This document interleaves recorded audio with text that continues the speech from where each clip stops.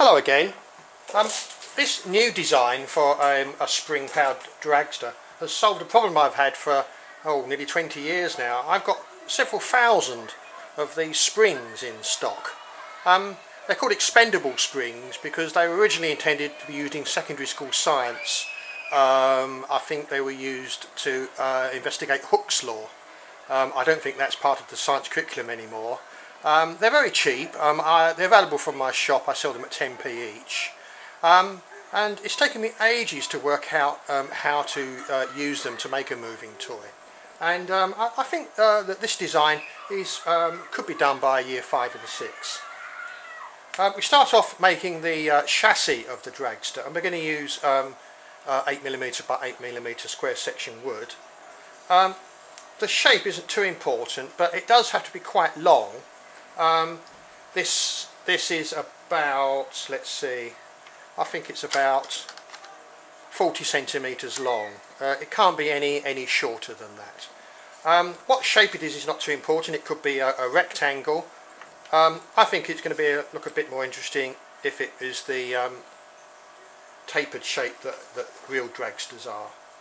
So we're going to make it narrow at the front and wider at the back so um, I'm going to use a glue gun to glue this shape together and then I'm going to strengthen the corners with card triangle. This is a technique that I've used before in these videos. It's a very useful technique. Uh, I don't know if it's still called, it used to be called the Jinks method. J-I-N-K-S. So uh, let's see if my glue gun's warmed up. Just untangle it and um, we'll put the ends on. Uh, I think it's important because it's going to have a spring pulling it this way. I think it's important that the ends go at the end of the wood rather than inside. Otherwise the spring's going to try and pull that down. So uh, try and remember to put the ends on the wood. I'm going to do the, the back end first because there's something we've got to remember when we do the front. Just put some glue on the ends here. Yes, the glue gun has warmed up. One, two. I'm so pleased to have finally um, come up with this design. I think I'm going to add it to my workshops.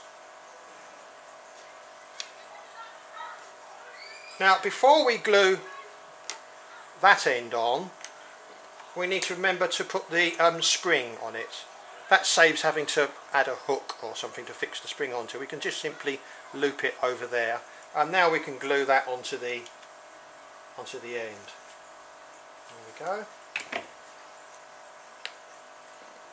So that's glued onto the end like that. Put it back on the table to make sure that it's, it's flat. And now I'm going to reinforce those four corners with the card triangles.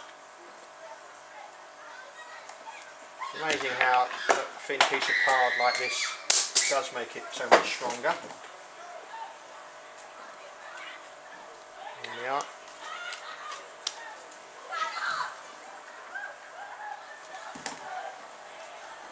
And there. And then the front. Now we might need to trim these a little bit. So I'm just going to snip off two corners there. And we'll glue them on taking care not to get glue on my fingers. And then the last one.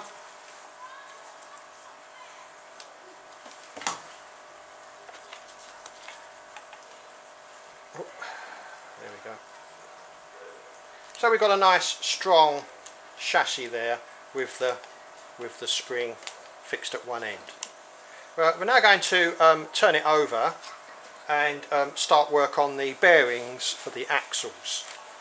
Um, I think we just need to um, strengthen the sides here to give um, a greater gluing surface to glue the bearings onto. So I've just got two um, small bits of square section wood here that I'm just going to glue onto the outside.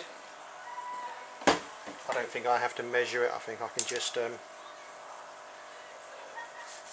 do that by eye. And the other one.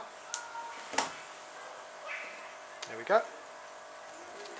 So we've got those two fixed in place. And then I'm going to glue a jumbo straw across, try and get it um, parallel with the back of the racer. So I'm going to put some, this is low melt glue, quite a large blob of glue on each side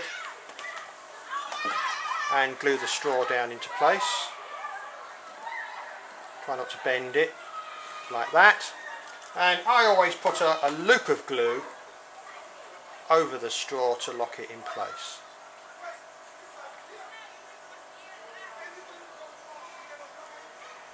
There we go. And actually, to make it even stronger, um, I'm going to put two very small pieces of wood on that side of the straw because the spring is going to be pulling on that axle so just to be absolutely on the safe side probably over engineering it. I'm just going to back that straw with a piece of wood there. Now um, we need to have the axle exposed in the middle because we're going to tie wrap some spring around, uh, string around it so I'm just going to cut that centre section out. Like that. And we don't need that much sticking out the ends. It needs to stick out a bit to stop the wheel from rubbing on the side. I think I'll leave um, a centimetre sticking out. There we go. So that's the um, that's the rear bearings done. Uh, we're now going to work on the on the front bearings. Um, got a slight problem here because uh, we need to make sure that the straw doesn't get in the bearings don't get in the way of the spring so this time we're just going to put two pieces of wood on top of the uh, chassis sides like that to raise the axle up so that it clears the spring. So I'm just going to glue two small pieces of C100 square section wood like that and once again put glue on those two surfaces. And put the straw across. Make sure it's parallel again by looking at the end. And once again loop some glue over.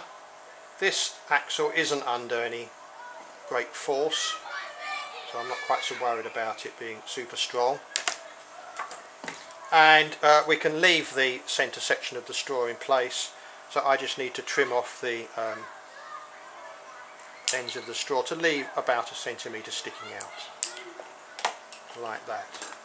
So that's the chassis almost complete. Uh, we're now going to add the wheels and axles. Um, I'm going to use, uh, I'm going to do the front axle first. I'm going to use these um, large MDF wheels. All these materials and components are available from my shop. We could use 4mm axle. Um, all of these wheels I'm going to use I've drilled them out uh, to fit 5mm down. Just looking for the one that's falling on the floor. So, um, let's tap that axle in. So, these wheels I've drilled out the hole slightly so that's a nice tight fit um, so we don't have to use glue. We slide that through and tap on another wheel like that. Okay, we've got a bit too much gap there, so we'll use um, a gap. It could be the gap between two tables. I'm going to use two blocks of wood here just to tap that axle through a bit more. But look at, keep a close eye on the straw. Make sure you leave a small gap. There we are. So now there's just a small gap and the wheels turn really well. We're now going to uh, work on the driven axle and again we're going to use um, a piece of 5mm dowel and the secret of this um, moving toy success is we're going to use very large wheels. Um, these are uh, 3mm Correx discs that I've cut. Um, I will make these for you, they're available from my shop. Um, they're actually sold as zoetrope discs because um, usually I'll make black ones and they're the discs that I use to make my zoetrope. Um, yeah, uh, that's another video in, in this series. But um, if, if, if you email me, I will supply these ready-made. Of course, you can make your own by cutting out some cardboard. Um, now, we could try and glue the axle in, but as you can see, it's a bit wobbly. So we're going to use um, two MDF wheels. We're going to put them on and then glue the large wheels onto the MDF wheels. So first of all, I'm going to uh, tap on this longer axle and once again we're going to tap it through a gap because we need a, a little bit of actual sticking through to help us to locate it onto the card disc like that. So I'm now going to glue that on just checking to see that we're going to have enough. I think I may have to cut those straws a bit shorter but I'm not too worried about that. So we'll just glue on the disc like this. There's one. Slide it through the rear bearings. Yes, we've almost got enough. I can cut those straws a bit shorter. Don't need to be sticking out that much. And the same the other side. And now we'll slide it through. There we are. We've now got um, plenty of axle sticking out the other side. That's spinning really well. And once again we um, tap on another wheel. And to work the axle through the hole put it over a gap. Keep tapping. Keep an eye on it. Make sure there's always a little gap. We can go a little bit more. Make sure the whole thing spins really easily. It does and now we can put some glue on there and glue on the second large disc.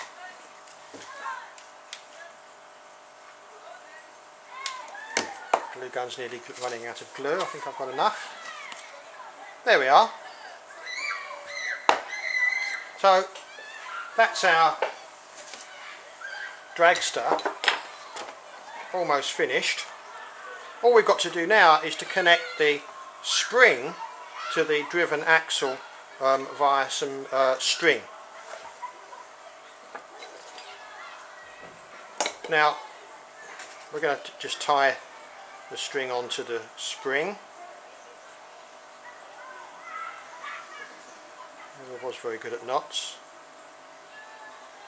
Now you can just um, fix the string onto the axle by wrapping it round if you pass it along I don't know if you can see that pass it along the axle that way first of all and then as you wind it up wind over the top of the spring it will stay on.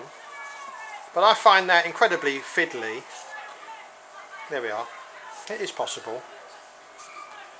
And um, one of the advantages of doing that is that when uh, when it runs along when the spring come, when the string comes to the end it will just come off and it will allow the dragster, to freewheel even further. So if you want to make your dragster go the maximum possible distance then don't fix the string onto the axle. Um, I prefer to fix it on. Um, if I wasn't videoing this I'd use um, glue, I'd use put some hot glue on here and uh, fix it on but uh, I don't suppose we should really be touching hot glue so I'm going to use some sellotape and we'll just put the string along the axle I think I've got too much there. I only need um, a bit of slack. Lay it along the axle and just wrap some sellotape round. Like that to fix it on. And you can wind it up by by turning the axle. You'll soon learn which way to turn it it, it should really go in that direction. And you can wind it up. And oh no I've done it the wrong way. How embarrassing.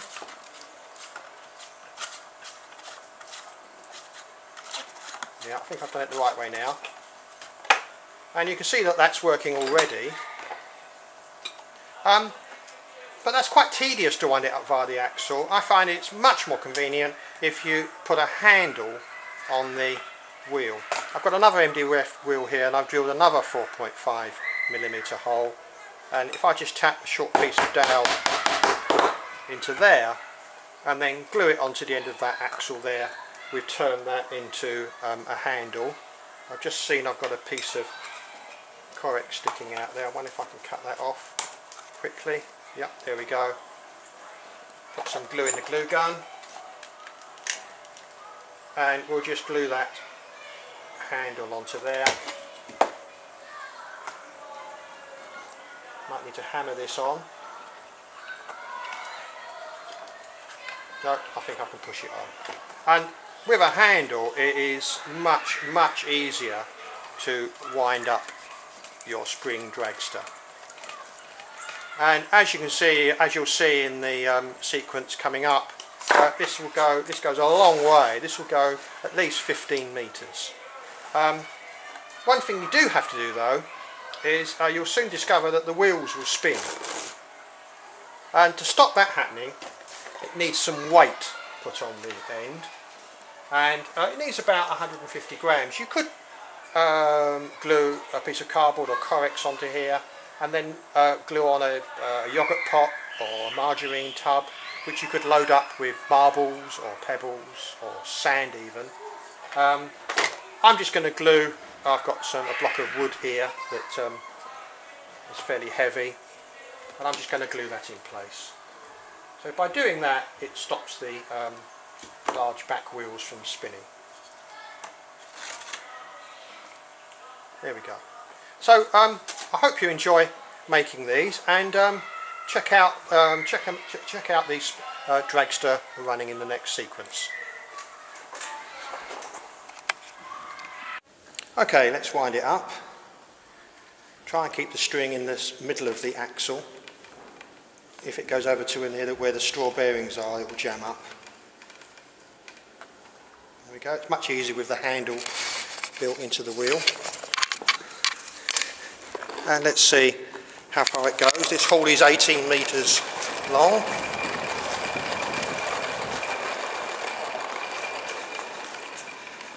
That's about 15 metres. And it has got another trick up its sleeve. Don't know if we're going to be lucky enough to get this to work. If I give it a push, with a bit of luck, it will come back.